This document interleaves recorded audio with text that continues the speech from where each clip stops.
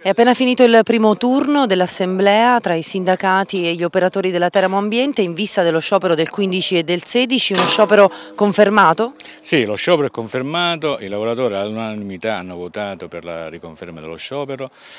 Eh, noi abbiamo cercato fino all'ultimo di eh, trovare insieme all'azienda una soluzione, ma abbiamo eh, visto che dall'altra parte c'è un muro, anzi in queste ore, eh, poi saranno i colleghi anche a, a dirlo, in queste ore eh, ci sono arrivate due lettere da parte del Presidente del, della Terra Ambiente, due lettere che l'una eh, dice il contrario, il contrario dell'altra, insomma no, non possiamo farci prendere in giro per cui eh, per domani e dopodomani lo sciopero è confermato. Sostanzialmente cosa dicono queste lettere? Ma sostanzialmente queste lettere noi avevamo chiesto che eh, dal 1 ottobre si tornasse alle 6 ore giornaliere e non all'orario flessibile.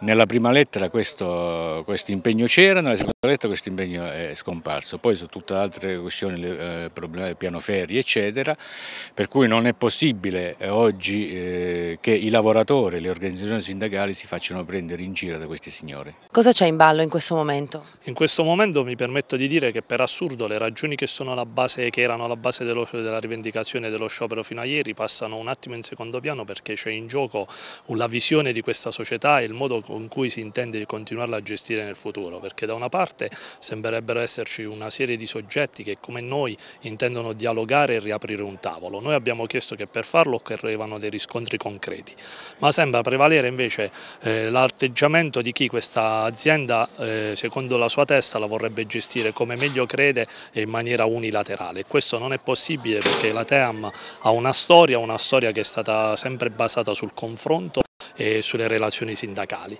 E quindi è in ballo questo, chi, chi, prevale? Chi vuole continuare a gestire questa società per quello che è stata, per quella che è la sua storia o chi pensa di poterla gestire come meglio crede?